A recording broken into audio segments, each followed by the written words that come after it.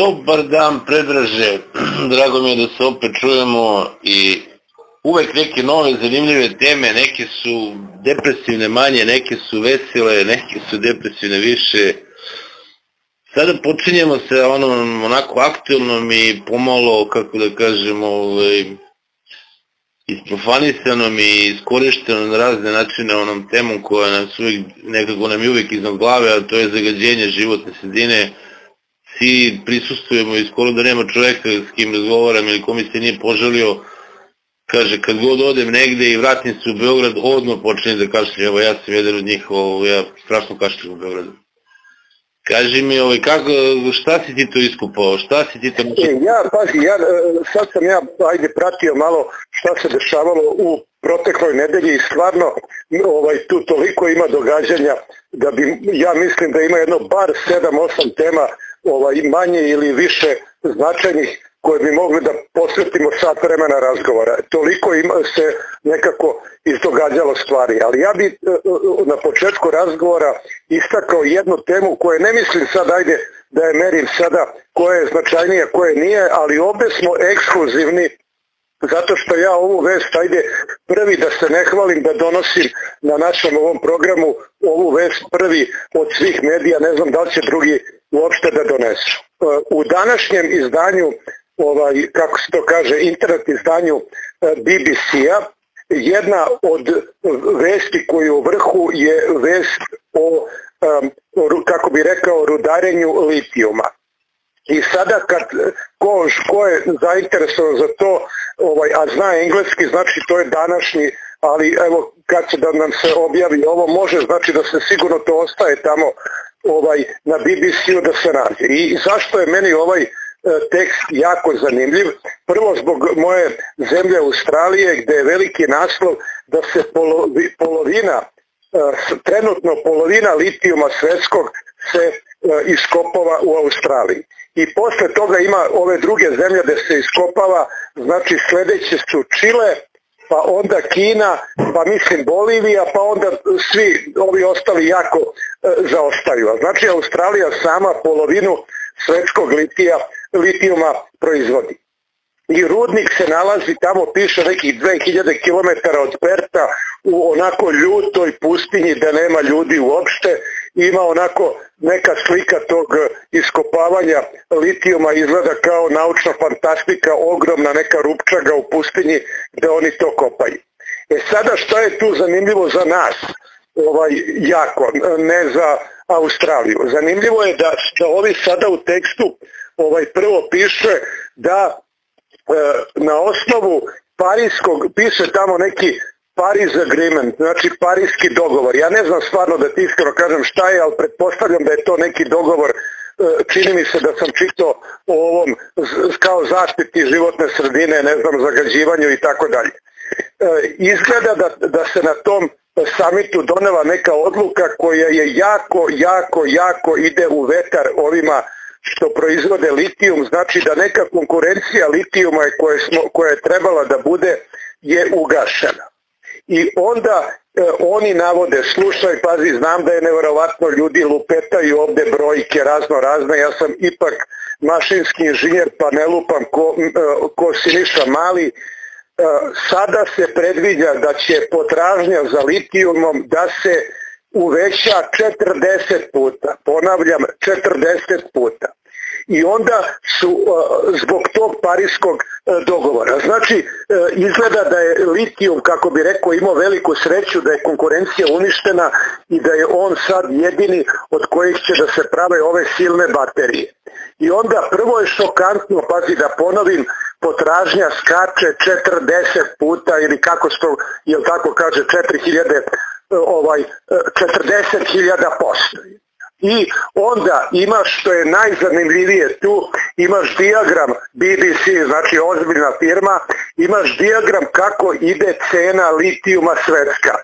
I cena litijuma svetska 2021. znači pre godinu dana, znači kad u ono vreme kada je Brnabić rekla kao da nećemo da kopamo litijuma, bio je neki indeks, da kažem 100.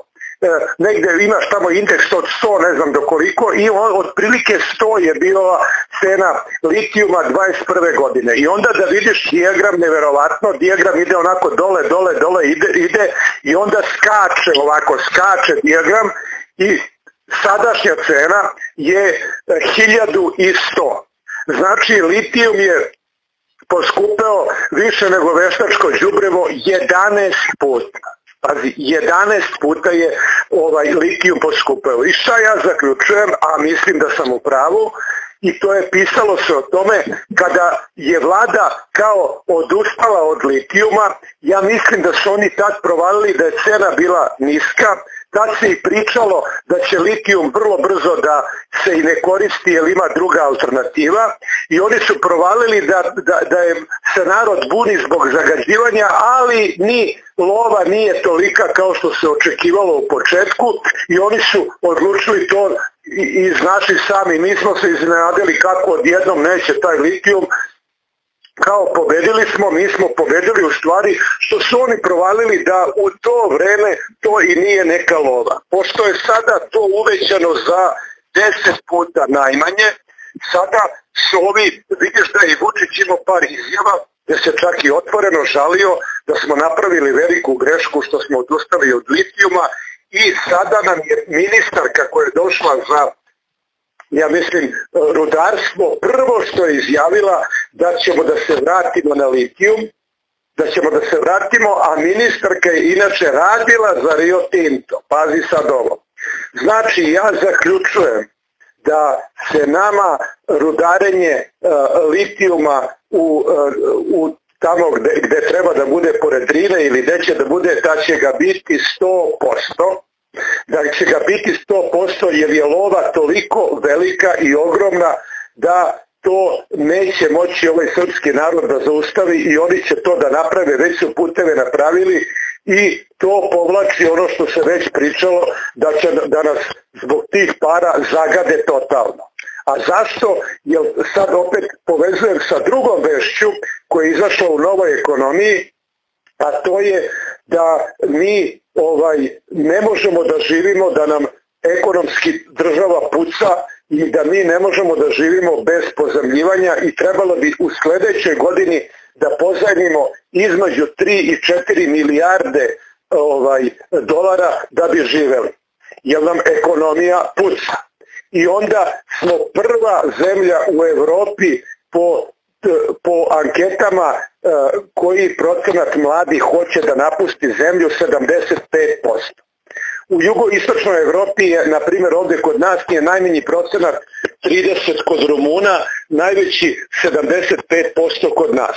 Zašto? Kažu analitičari. Znači, ja prenosim, izvini, nije, nije, nisam ja neki stručnjak, nego prenosim, zato što se smatra da je opasnost da se uđe u sirotinju najveća u Srbiji od svih zemalja, a posebno najveća što je zanimljivo kod mladih.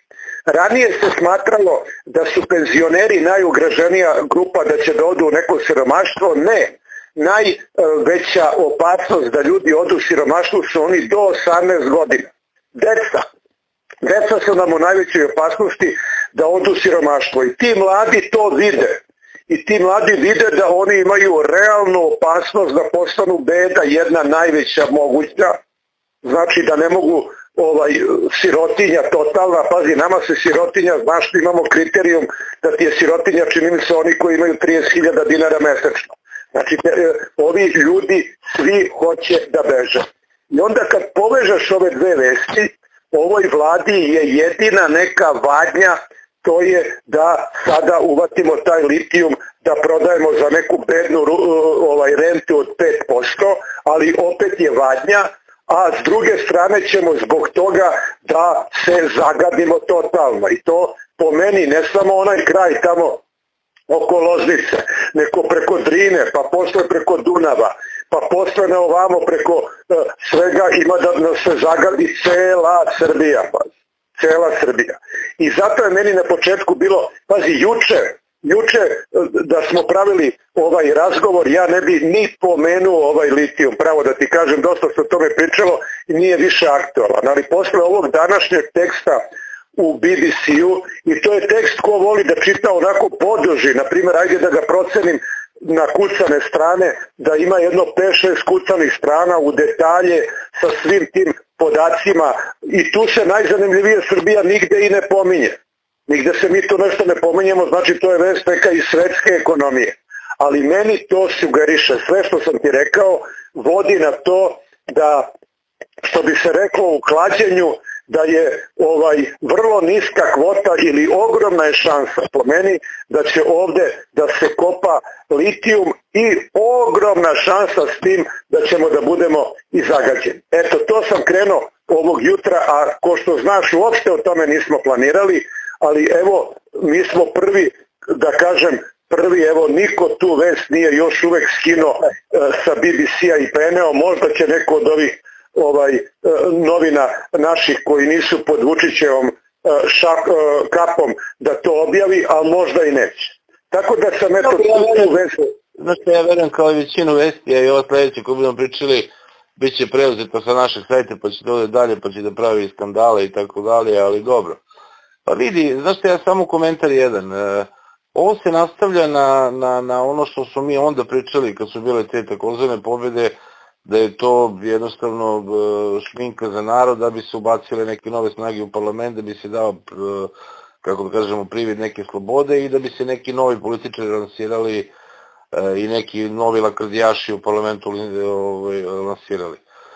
Nijednog sekunda nije se zaustavilo pripreme za eksploataciju litijuma na, na, na Drini, zato što se vreme se radilo. Mi smo imali znači, informaciju od insajdera da se radi punom parom, ugovori su bili potpisani, to je bila prošla godina, znači za ovu godinu, februar, mart, e, da se radi, naravno nastavilo se se radi. I ova ministarka što je sada došla, ona je udata zapravo za, za direktora cijele te igranke, tako da je to sve projekat koji je spreman i jednostavno ono što, što nas čeka, mi se opet nećemo buniti, jer će se opet pojaviti neki tuta muta koji će da proglasi pobedu, mazne lovu i kako se zove skine slavu, a nema veze šta se zapravo odigrao na terenu. Ovaj, pritom još jedan sitan detalj, a to je da litijuma na zemlji ima za negde otprilike 70 godina. E, da su oni donali moratorijum na, pošto litijuma najviše, nećeš verovati više nego u tvojoj Australiji ima na morskom dnu, oni su donali moratorijum ovaj, za istraživanje i skupavanje litija u morskom dnu, zato što bi to zagadilo kompletan ekosistem. A jedino se zeleni litijum, jedino se taj ekološki čist litijum ovaj, vadi u, kod nas na Drini. Znači litijuma mi nismo velika sila u svetu po količini litijuma, ali ćemo i ne znam Nemačka i Češka i ko sve ima više litijuma od nas, ali jednostavno Tamo je to prljava tehnologija, samo ovde je to čista zelena tehnologija, tako da će se to ovde raditi i ako zaista se narod ne pobuni, ne shvati da jednom kada se sredina zagadi, e, može se to obnoviti, može, ali su potrebne stotine i hiljade godina. To neće dočekati naše djece i naši unuci. A ako nastavimo tako da se sa nebrigom odnosimo prema sredini u kojoj živimo, neće ni biti naših umaka. Tako da budimo realni i jednostavno pamet u glavu i treba odreagovati adekvatno, ali plašim se da ćemo opet kao i više puta do sada biti preveslani, ali u svakom slučaju treba se truditi, treba pokušavati, jednom će uspeti. To ti je kao onaj, kako da kažem, epitaf na grobu hipohondra, ipak sam bio u pravu, znaš, jednom je zaista bio u pravu, pogodila ga bolest koja ga je ubila. No, da pređemo na malo veselije teme. Nama je ove nedelje možda najzanimljivija igranka bila oko e, gospođe Vukilić koja je... Gospođica. Ne, ne, gospođe, gospođa. A udata je, ja nisam.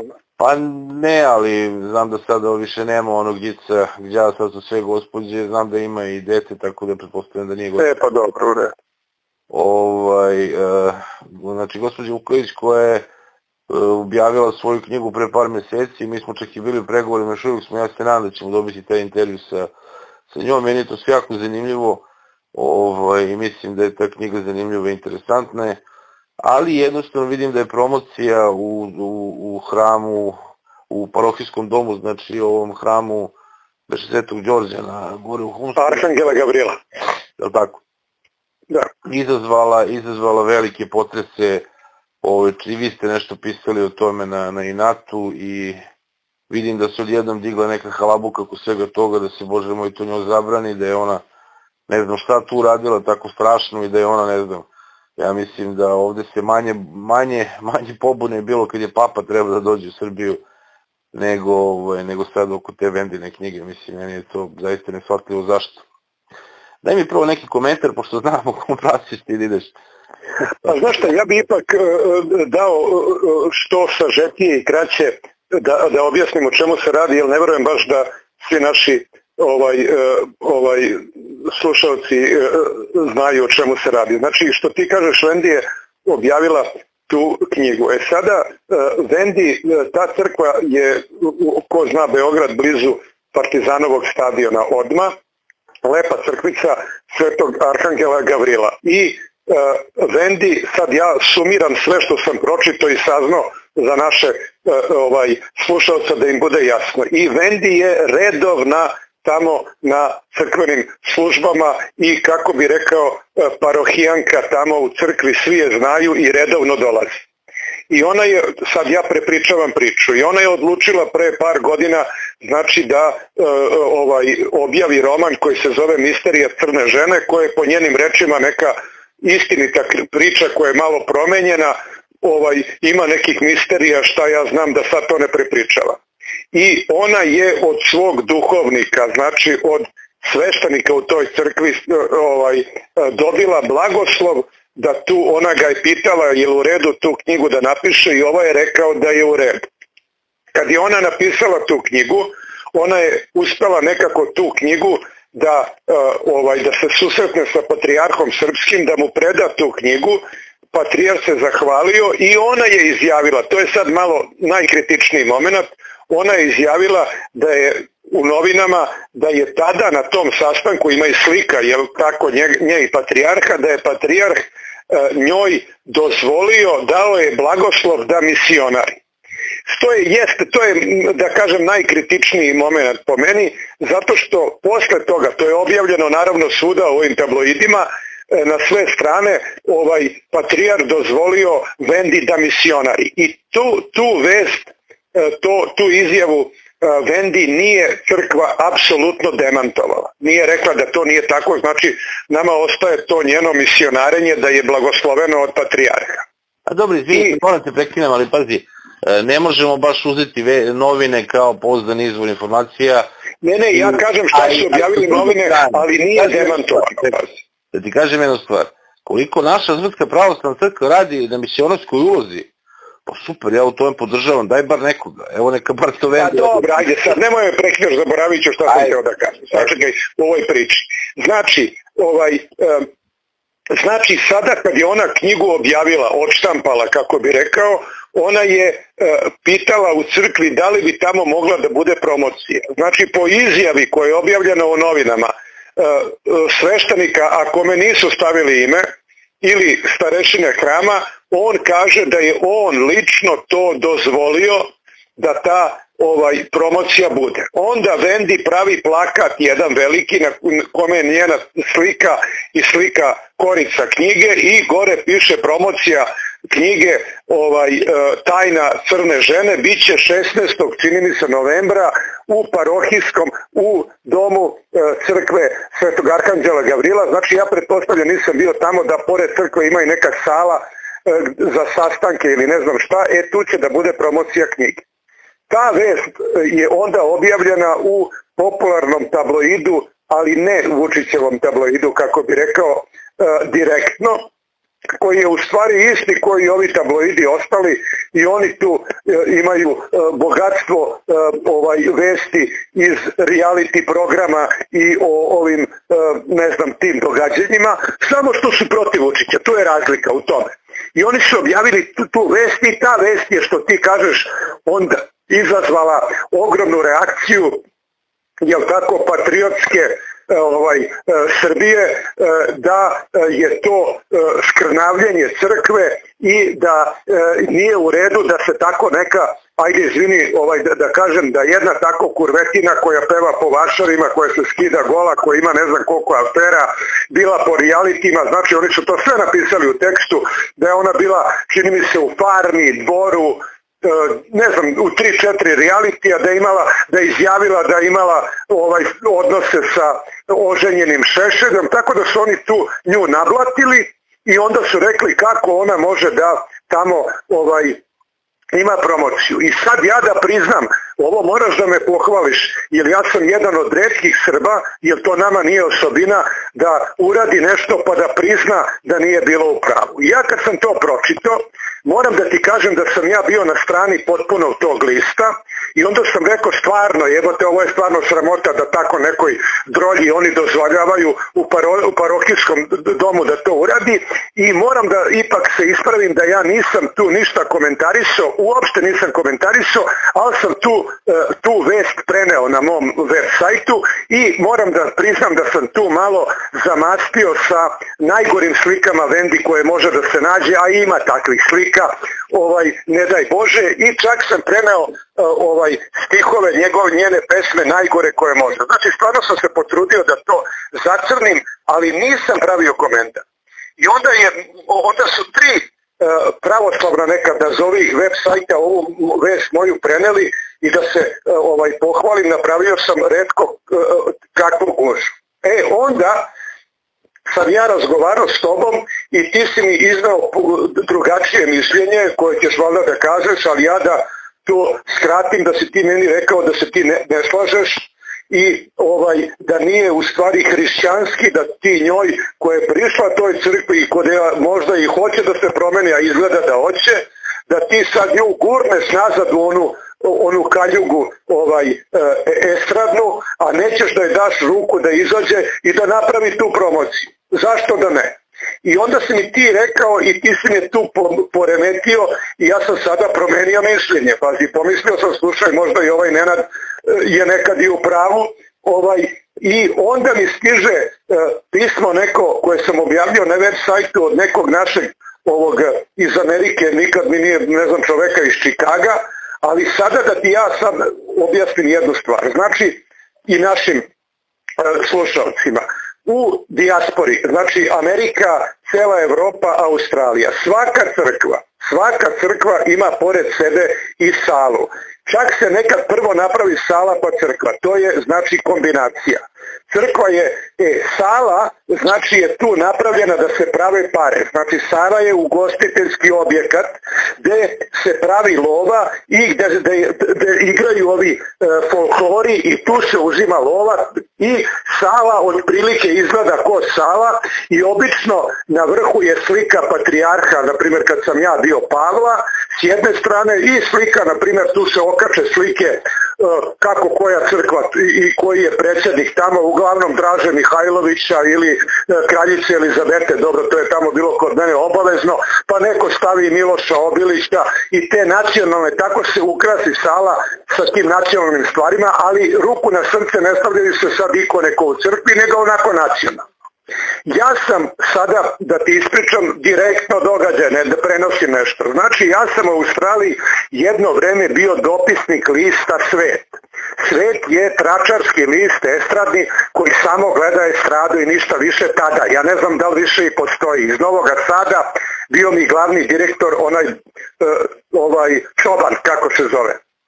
I ja sam bio dopisnik iz Australije i samo sam pisao o tome kad dođu ovi pevači, pevaljke, kako prođu i ja sam to ako ima neka, ako se neko napio i te stvari, znači ja sam bio onaj dno na ovaj, izveštač sa estradnih zbivanja. I zbog toga, zbog toga ja sam išao na sve te koncerte u srpskim salama. I sad ja odem na koncert, vidim o čemu se radi, napravim dve, tri slike, nekad snimim i, i, i, i onaj mali video koji oni onda objave na svojoj internet prezentaciji portalu Svet. Znači ja odem tamo na brzinu, pravo da ti kažem, no 10-15 minuta, to islikam, šta me i odem i pošaljem taj izveštaj, jer pravo da ti kažem teme, teme ovaj, koncerti, nazovi koncerti nisu zanimali, ali sam to radio zbog posla. I sada u crkvi, u crkvenoj sali, a što je najzanimljivije, ja sam radio na radio programu i imamo gosta i kažem ja pomaže Bog, danas nam je gost otac taj i taj, da mu ne kažem ime, ajde da lupim neko ime, otac Nenad iz naše crkve, koji je pomaže Bog oče Nenade, Bog ti pomogao, zašto je došao uh, ovaj, uh, ovaj uh, sveštenik Nenad da pozove parehijane da dođu na koncert jer nam je došla estradna umetnica ta i ta u salu. I sad znači sveštenik, pazi sveštenik reklamira da će u sali, došao da reklamira kao menadžer, da će u sali da peva neka od Zvezde Granda. E sada, ja sam bio na više tih ovaj koncerata i sećam se na primjer Dara Bobomara, ako neko zna, valjda zna narod o tome. I sada, samo da ti kažem naj, ovaj, kako bi rekao, pikantni ovaj e, moment, znači u sali crkvenoj, toj gde je patrijar slika i tako dalje, dolazi da pravi koncert, ako si ti čuo za njega, DJ Krmak. Ovaj, e, to je znači estradni umetnik iz Banja Luke, Hrvat poreklom, jako popularan sa svojim šaljevim pesmama. Jel si čuo za njega? Kako nisam, celo selo šmrče belo. Selo, selo smrće belo ili ajde za naše slušalce koje ne znaju, on je imao pesmu Da sam žensko. I ide pesma Da sam žensko, barem jedan dan, barem jedan dan. Davao bi i starom i mladom, spavao bi sa republičkom e, vladom, samo da sam žensko ja. Eto, na primjer, da predstavimo umetnika sa tim jednim njegovim stihom. I ja dolazim, pazi, crkvena sala puna ko oko, sve mladi ljudi, Srbi došli tamo, jer, među, on uglavnom popularan među tom omladinom, gužva velika, ja došao na početak koncerta da snimim i on dostaje na binu, puna onako sala i on kako ste oni, dobro smo, on kaže imam jednu poruku za vas, omladinu, oni, a, e sad kažem ti ovo možeš da, ako hoće stavi neki bit ili nešto, ili da kažemo on, i on vikne na mikrofon u crkvenoj sali pred slikama tim, kaže jebite se što više. Pazi poruka za omladinu u crkvenoj sali. U toj istoj crkvenoj sali, ja sam gledao, pazi, kad je dolazila, ja ne verujem da li ona još peva ili je umrla, to je bilo, na primjer, u, u kad sam bio 2000 uh, uh, i druge, treće, dolazi pevačica koja se zove Morena, pazi, Morena. A meni je posle neko objasnio, ja tad nisam znao da je Morena, jel tako, boginja uh, slovenska, staroslovenska boginja i to boginja smrti i zla. Morana, Morana je bila, ali... Morana, Morana, izvini, i, i, to, i to je naišla od ovog Moriti, jel tako? Od Moriti Morana. I ta Morana je došla u ovaj uskoj, uskoj što može nekom kožnom kompletu, ne daj Bože, i ona se valjala po podu, pazi, skakala po, uh, ja bio to tamo u Kamberi, na primjer po meni je najperverzniji koncert koji sam ja video u životu, ali nisam mnogo, pravo ti kažem, ni gledao, je taj bio Moranin u crkvenoj sali. E sad što sam pričao ovu celu priču da kažem da si ti ovoga puta, nemoj da se uobraziš, bio u potpunosti u pravu. Jel da sad koristim tu reč koja se ovde sada olinjala, jel koristi je od Dačića i svi ta licemernost. Ko je ta licemernost? Da crkva dozvoli da u crkvenoj sali Morena peva i DJ Krmak e, da, da lupeta i, i svoje perverzije i, i šmrče belo, oni mogu, zašto se ova dobija? Znači ova se dobija, zarađuje se karte toliko i toliko, crkva uzima pare. I onda u crkvenoj sali može Morena da se valja po podu i da posle toga naravno zaradi ekstra pare ovaj na e, razne načine kao i sve ostale koje su dolazile, a pazi parohijanka koja tu dolazi stalno u crkvu ne može e, ovaj iz nekih moralnih razloga da napravi promociju knjige koje je napisala. I onda sam ja, moram da kažem, ovo lepo je tako da neko kaže, ja ovaj, u ovom našem srpskom društvu, ja sam zahvaljujući tvom razmišljanju prvo što si mi rekao, a posle kad mi ovaj posle, meni poslao ovaj pismo ovaj iz Amerike i kaže čovjek ovdje nama po salama pevaju i onda se ja setim svega toga, nije, mislim čovjek me podsjetio, nije mi on sad otkrio ovaj metlu iza vrata, ja sam to znao, nego me on podsjetio. I onda ja sada ovdje ovaj, bi sad tu napravio tu akciju i rekao pravda za uh, Vendi. Ali opet, e, što bi rekao, nije sad tu da kažem, meni bi bilo drago da, da napraviš taj intervju sa Vendi i da je čujemo, ali na kraju je u stvari Vendi samo, kako bi ti rekao, Bože me oprosti, ona uopšte ovoj priči nije ni bitna, nego je bitno šta se sve to dešava, e, kakav smo narod, kako nam ovo društvo i gde ide, ovaj i e, kako radi ti tabloidi, kako vlast štiti ono što je odgovara, što ne odgovara, prikriva.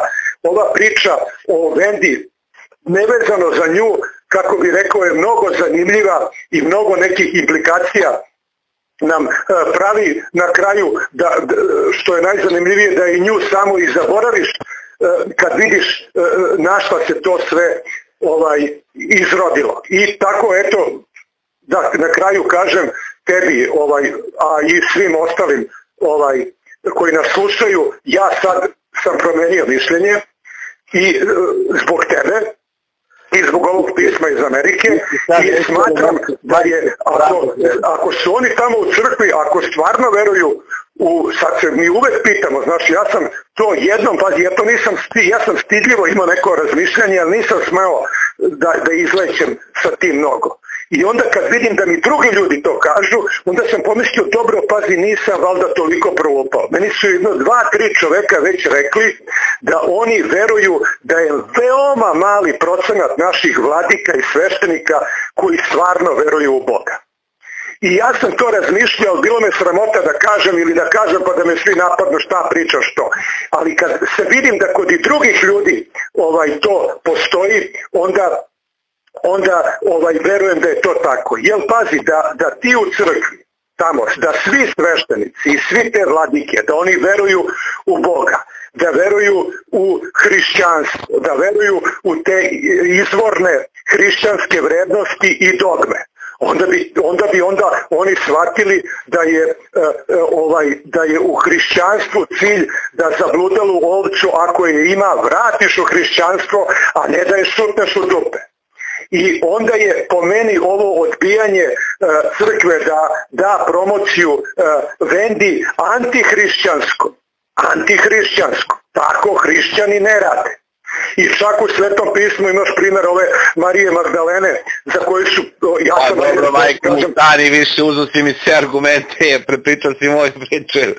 Ajde da stane, ne, ali hoću da ti, ajde. Ovaj. Marija Magdalena mi je bio punchline, razumeš, ajde reci. Pa dobro, kod Marije Magdalene je drugačije, zato što se ona proziva za prostitutku, a nije uopšte bila, nego samo u onom stihu, ja mislim 20.3, kod Luke se kaže da je Hrist iz nje šest demona izvuku, ali hoću da ti kažem, znači cilj te crkve je da te demone, znači, a demoni su nam nije samo, e, ovaj, demoni su i, i druge stvari, a ne samo ovaj prostitucija i kocka i, i, i, i, i nasilničko ponašanje i bogohuljenje, ako to ljudi imaju, znači cilj je crkve ne te ljude da obeležava sada, pa da ih kažnjava, pa da ih ovaj, stavlja na stup strama, nego je cilj da te ljude koji imaju bilo kakve te demone, ovaj što bi se reklo, da im to izbacuje, da ih čisti i da ih vraća u pravoslavlje, a ovi rade kontre.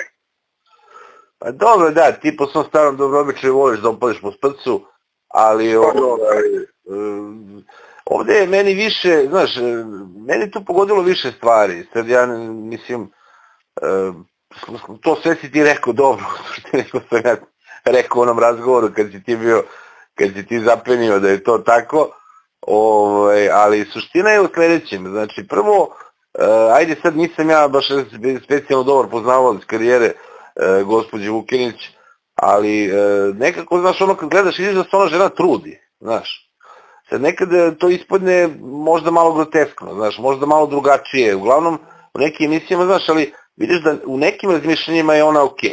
Ti vidiš da je ona uvek bila, i kad sam slušao intervjue, zato sam ja i poželeo da razgovaram vezano sa njom za tu njenu knjigu, znaš, ti vidiš da ona se ne hvali sa time, za razliku od drugih likova, pazi, kao što je, evo ti ga, u isto vreme ti se pravila knjige Ace Lukasa, razumeš, gde on se hvali svojom narkomanijom, iako on kao, pa da, kao nemoj da se drogirate, ali u knjizi on o tome ima dosta afirmativan stav, razumeš, dosta je nesređen, ne znam, prvo kao kudi, onda se hvali s tim i tako dalje. Pazi, da ne pričamo nekim drugim, nazovi zvezdama ili onim koji sebe proglašavaju zvezdama, razumeš, koji su otvoreno antinacionalne, razumeš, ova žena nije, bre, razumeš, ono, ova žena imate nacionalni stav, priča o tome i ona otvoreno govori, da, ja sam shvatio tu njenu priču kao i tu knjigu kao neka vrsta pokajanja.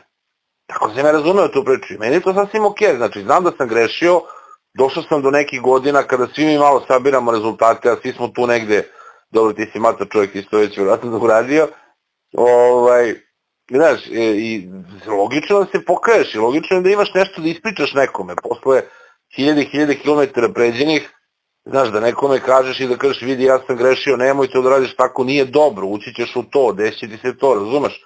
I ja to tako vidim. I meni je to sasvim. Okay. Znaš, i to je to što on radi, meni je to sasvim. Okay. I sad ono što je meni bilo, znaš, najsimpatičnije i ti si bio, pa znaš, oni su one, i ljudi su me zvali vezano za to, jesi video ovo i svi imaju isti argument. Pa ona je pevala ispod šatora ovo ono. Pa reku, ljudi, misliš, šta ste vi očekivali? Ta žena je bre narodna pevačica je. Šta ste hteli da ona peva u Carnegie Hallu, ne znam gde je ono, u Olimpiji, razumeš, u Metropolitanu, šta se očekivalo? Znaš, šta se očekuje od narodne pevačice? Gde ona to treba da peva? Pa to je njen posao, na pevi ispod šatora, pa mislim, znaš, e, mnoge danas starije, kada uđu neke godine, pređu 50-60 godina, onda te iste kafanske pevaljke, koje su isto tako pevale pod šatorom, koje su isto tako se narod sprdao sa njima nekada, odjednom postale dive, dame, uvažene, razumeš i sad i gledam po televizijama kako su one, ne znam šta, nemoj da se zezamo, eno ti filmova, bre, razumeš da su pevale snimane u filmovima 80. godina, bre, peva ispod šatora, peva i kahvane vatiju za sise i tako dalje. Se mi zezamo ovde, razumeš? Kako to da odjednom? Ove mogu, razumeš, a samo je to Vendi zabranjeno, zato što je ona, ne znam, znaš, ono spava šešeljem. Dobro, to najveći greh. Prihvatamo da, da to nije baš... Ovo, ovaj, jeste, malo, jeste malo čudno, znaš, ali dobro, to je njeno pravo, na kraju krajeva, da izabere. Pa čekaj bre, e, šta radi ona nesretna JK, razumeš, na onoj sceni, šta ona propagira? Setimo se bre velike dive danas koje je čitala, kako beš ono, Tostojevskog. Pa to niko ne kaže, ona je danas uvožena dama, vlasnica nekoliko dvoraca i svega toga. Kako se sve to zaboravlja? Znaš, e, imamo tog političara koji ovde žari i pali kome nisu samo Bach i Beethoven svirali na, na svadbi. I tako dalje, mislim, sad ja ne mogu, to, imaš milion primjera. Znači, bukvalno milion primjera.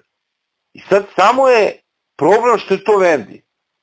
Pa dobro, znaš, ono, ja, to, ja, ja i dalje to ne shvatam, jer i dalje mislim da negde mi se čini da je ona, da je ona ovaj, i osjećam da ona ima dobru, dobru želju da uradi dobro. Što se tiče crkve i to isto, ja sam tu ženu viđao u hramu. Znači ja sam zaista nju viđao, ovaj, kako se zove, više puta u hramu, a gore pomenute i ove ostale nisam. A isto živimo na, na, na istom prostoru i u istim hramima se, možemo se sretati i tako dalje i tako dalje. I sad ovo što si ti rekao, znači čekaj sad na kraju.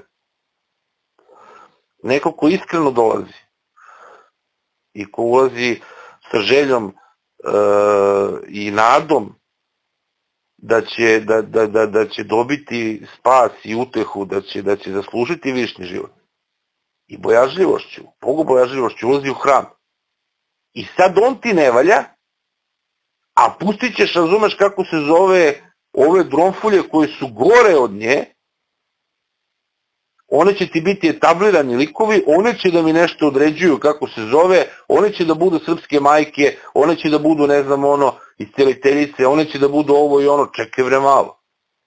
E meni u celoj toj priči smeta najviše ta ironija, znaš, taj, e, i to licemerje, i takva zeologija koju mi stalno spominjemo kroz ovu, ti si lepo spomenuo Mariju Magdalenu, razumeš, žene koje, i mi znamo, znači, koje su i hrišćanke koji se hvale time i tako dalje. Pa znaš, ona je, ne znamo, ba, pa rekao, čekaj, ona se žena oblači, šta hoćeš, rekao ti? Šta ti hoćeš? Ako ste tako pravoverni i ako ćemo da gledamo i da merimo, hajde onda da isteramo Amerikanci iz naše živote. Hajde izbacite saradnju sa svim anglosaksoncima jer su nas bombardovali. Oni su mi naneli više zla. Ne, nebrojeno više zla nego što je ta žena. Ta žena je bre, prosto radi svoj posao tako kako radi i to je njeno pravo. Ali razumeš, znaš, meni, da, meni to lice me ne smeta i meni smeta, znaš, najviše mi smeta to što se kroz prizmu te žene drugi peru. Razumeš? Pa znaš, ne znam, ona imala onu pesmu, čini mi se, praktično se šarančić ili tako nešto. Pa znaš, ono, pa reko, čekaj, šta je tu, ja opet postavljam pitanje, šta je tu problem? Znaš, ona se bavi tim poslom. E, nije u toj prvoj, kako da kažem, u tom prvom koji dobija najbolje pesme. Dobila je tu pesmu koju dobila, on to radi kako radi. Što kažu neki stari ljudi, radiš sa onim čime imaš. To svi, svi mi radimo u našim poslovima, ako nemamo idealne uslove, radimo najbolje što možemo sa onim što imamo.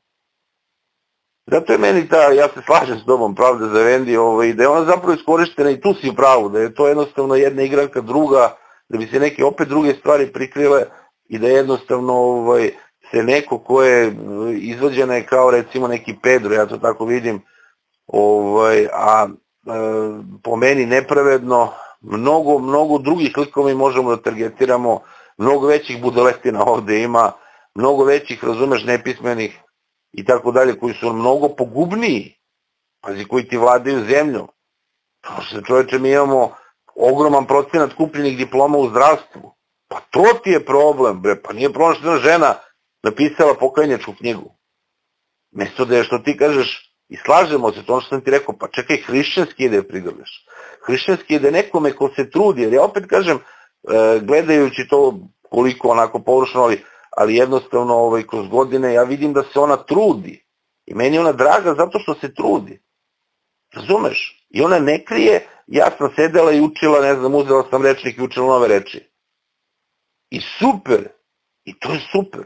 Možda nekome, znaš, koji, koji ima veće formalno obrazovanje, to deluje smešno ili groteskno i tako dalje. Ali čekaj, ona nije prošla kroz to, kroz, što si ti prošao, ono životu je od, malena, od mladosti je na tom putu.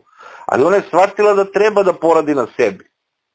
Pa za nije najveća ljudska vrednost i vrlina i u, i crkvi nas to valjda uče, da treba da radimo na sebi. I samo radeći na sebi postajemo sve bolji i bolji, približavamo se Bogu. I ta žena to radi. I sad se, neko je došao da se sprda, i neko je došao da je podmeće, razumeš, klipove po točkove, zato što, bože moj, ona nije neka svetica kao što smo mi svetice, ma jel da. A vi se, da ne kažem šta, ne radite sa komšijama, sa prijateljima, ne švalerate se, ne, nego samo ona to radi. Znaš, meni to lice mene smeta, znaš, meni to, pazi, e, mi živimo, sam si rekao, u društvu u kome 75% mladih želi da pobegne iz zemlje. Živimo u zagađenoj zemlji. Živimo u zemlji u kojoj su uništene sve bukvalno sve e, sve kvalitetne vrednosti, znači kao što su obrazovanje, zdravstvo, crkva, vojska, država, država, država sama po sebi. I sada živimo u kvaziologiji, imamo, imamo neke kvazi patriote, kvazi rodoljube, kvazi domoljube, kvazi rusoljube, kvazi, razumeš ono, angloljube i tako dalje i tako dalje i svi oni mi sole pamet i stalno ih slušaš sa medija i stalno slušaš, razumeš, te budaletine koje, kako se zove, zavaravaju ovaj narod, koji uzimaju pare na svom lažnom patriotizmu i sad će ti isti slinavci, razumeš, polupismeni čobani da dođu da mi sude nekome zato što smatraju da su bolji od njega. U ovom slučaju nje. E pa izvini, ne dam. E pa izvini, dići ću svoj glas protiv toga. Isto kao što bi se bunio kada uhvatiš i kada kako se zove, jer ti se može da da napadaš nekoga ko nije zaštićen. Pa što se ostrica svih tih likova nije okrenula kako se zove protiv ovih lažnih rusofila? Koji ovde danas sejre bre po ovoj Srbiji lupetine kakve gluposti. Što se ostrica svih njih ne okreće protiv lažnih, protiv lažnih hrišćana? Protiv raz, lažnih ovaj, srbofila? Što to ne raskrinkavamo? Što se ne raskrinkavaju lažne veličine u obrazovanju? Što se ne okrene ostica prema akademiji? Pazi, e, zašto, zašto ne udariš na ono što je prava mera? Ja, na što si razumeš, da, da, da, da, da, udariš, da udariš po nekome na kome možeš i ti se čini da je ona razumeš, pogodan da bi ti ispao veliki, zato što ona pevala ispod šatora, ti nisi kako se zove i ona priznaje da je, da je stupala u otvorene ljubavne odnose, svi su to radili. Većina ljudi koji, koji, koji je pljuje to radila. Šta sad odjednom ispadamo, kako se zove, ispada da su nam sve žene svetice ovde. Pa izvini nisu, ja imam 50 nešto godina i za tih 50 godina sam dosta dobro upoznao kako se zove ženski pol i mogu reći da ovoj, nisam svetica puno sreo. Šta više ne bi mogo da, ne bi mogo da se kladim da sam vidio jedno, sam sreo jedno. Tako da, znaš, e, sve te priče o tome, ona je grozna, mi smo svi odlučili, meni to malo smeta zato što je to, opet kažem, licemerje, kvaziologija, protivi se nekom hrišćanskom moralu, protivi se tom, toj hrišćanskoj bratskoj priči, priči, ako su mi svi hrišćani, kao što je bilo, znači, u Romanskoj imperiji, pogotovo pravoslavni hrišćani, mi treba da budemo braći. I ona treba da nam bude sestra. I te žene treba da nam budu sestre, majke i tako dalje, i prema njima tako treba da se odnosimo. I onda treba što si ti rekao i što slažemo se, ako se neko pokajao zbog ono što radio, pa prigrli ga. Daj mu bratsku ljubav, daj mu hrišćansku ljubav prema njemu. Nemoj da glumimo, nemoj da glumimo ludilo, znaš, to ti je ono čumeno Hristovo preće, ne znam, ovaj, proći ka, onaj konopot od kamilje, kamilje dlake kroz, kroz iglu nego, nego taj da farisije što će ući u carstvo nebesko. I to je to, oni su svi upravo ti, upravo su svi ti fariseji, svi ti lažni moralisti, razni hrišćani koji, kako se zove, nas ovde uče i opet, i opet, i opet, i opet nam pričaju bajke, i opet se uh, razapinje pogrešan Pedro, nadam se da te nisam uspavao. Ne, ne, ne. Imam još jednu potrebu da sad ja načnem treću temu, a to su, ali kratko, jer im je muka o tome da pričam. Stvarno mi je muka, ali moram da pomenem. Ja ove reality programe nisam nikad pratio, apsolutno nisam pratio, ali znam da postoje i otprilike u ovim naslovima novina izbacuju neke vesti, pa ja onda shvatim o čemu se tu radi. I onda sam ja shvatio da tu imaš, a ti me ispravi ako nisam u pravu, trenutno imamo dva ta možda reality programa Zadruga i Parovi i sad je verovatno i među njima konkurencija koji će da budu gledani. I sad ja sad razmišljam, ako si ti, na primjer, ja sam, uzmimo da si ti menadžer parova, a ja sam menadžer zadruge. I onda ja i ti gledamo sada kako možemo što veću gužvu da napravimo i što uh, uh, veće neko sranje. I onda uzimaš pa zovneš, na primjer ako ima ih tamo ne znam koliko, dvadesetak, onda zoveš jedno sedam, osam onih najvećih ovaj sponzoruša koje postoje i najradodajnijih. Pa onda zovneš jedno trojicu dileja ovih iz nekog beogradskog podzemlja, a koji su između sebe ovaj posvađani. Pa obavezno zoveš jednog i njegovu bivšu da bi se tamo pokrjali.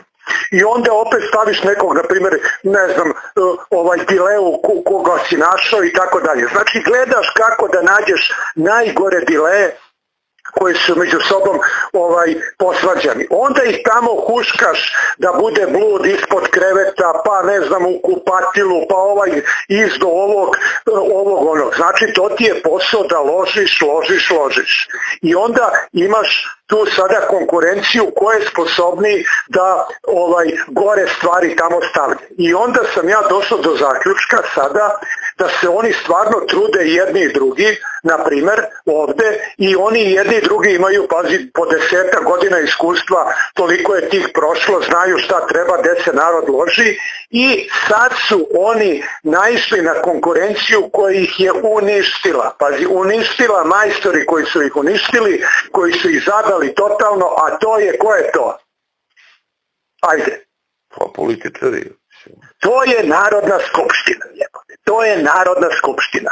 Ja sam pre neki dan gledao jedno pola sata na televiziji, to je sad kao što ubacuješ tamo ove kurve kriminalce i tako dalje, ovde ubaciš prvo one mlade dileje, ovaj SNS akademije, mentalno zaostale koje samo znaju da ovaj pohvale predsjednika, ništa drugo staviš 3-4 ona izlapela neka ovaj e, profesora opet sa ove SNS strane staviš one naj, a da, da, a da to sve kontroliše, staviš najgoreg čoveka, najveću e, ovaj, ljigu moralnu onog Orlića. Znači najveću dileu tamo staviš. Onda ubaciš jednog šiptara da se tu pravi gužva, ubaciš tako čutu i, ili nekog i napraviš tako blamiranje, pazi, tako blamiranje da ovaj, e, e, da oni skiče, pazi, oni skiče za vreme kad neko ovaj puštaju krike ovi SNS, zamisli to.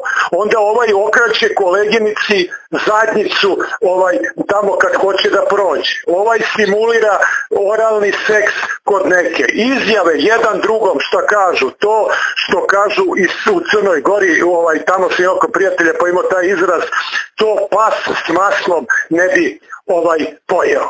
I onda mi taj imamo treći reality koji je zajebola dva za tri koplja, koji svaki dan imamo na drugom e, kanalu ovaj e, televizije nacionalne, jel tako, RTS-a državne i koji gleda narod, narod, narod otvorenih očiju, tu su likovi, možda zamisliš, zamisli u najnovijoj emisiji Siniša Mali sa lažnom diplomom, Hrvatica i lezbejka Ana ovaj, je tu, tu je i uh, onaj uh, Dačić čuven sa svojim koferčićem i, i povezanošću sa heroinom. Teme, pazi, teme u tim Belivu koliko je klao, koliko je bilo ćevapa, ko je s kim radio. To da se donesu uh, neki zakoni, to, to, toga nema, pazi.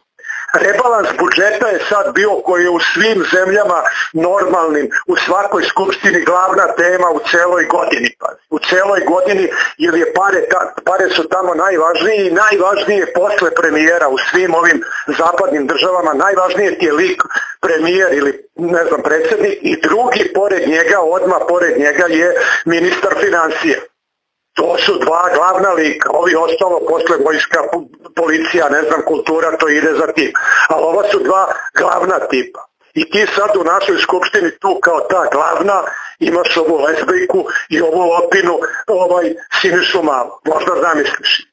I onda mi gledamo te programe, to, su, to, to je na primjer, ja gledam ove humorističke serije koje se pojavljuju uglavnom, ajde, ovaj Kesić ili ne znam koji, E, Ivan Ivanović ili ne znam, ajde nazovi dobar loš zao i tako dalje, oni u stvari e, ti možeš da napraviš tu emisiju humorističku bez, bez ičega, samo da uvatiš one e, najzanimljivije inserte od po 10 minuta i po, po, po minut, dva, tri, one najveće bisere iz Skupštine i ne treba ti ni da budeš duhovik ti to sad nešto da spajaš, da praviš neke fazone, ne, samo staviš to.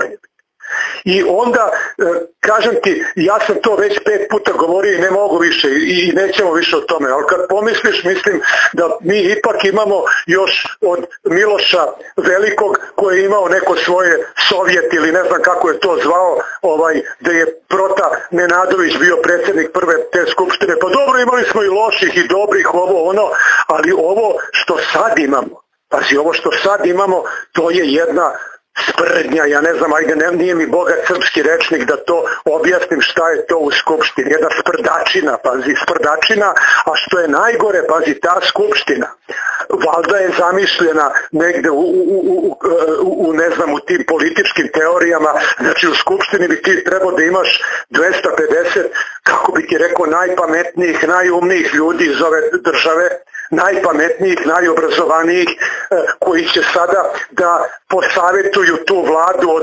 20 e, ministara šta da radi zahvaljujući svom znanju, iskustvu i tako dalje.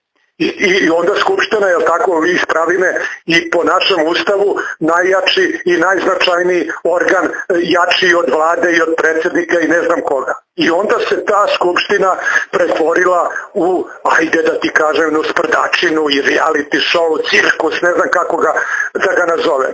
I to je, pazi, nečim, nečim da stvarno treba, Bože me oprosti, ja nisam, mi nismo nas dvojica, ajde, smo dokazani po tome da bar nikad nismo bili anti, ovaj, kako bi ti rekao, kako bi rekao, autošovinisti.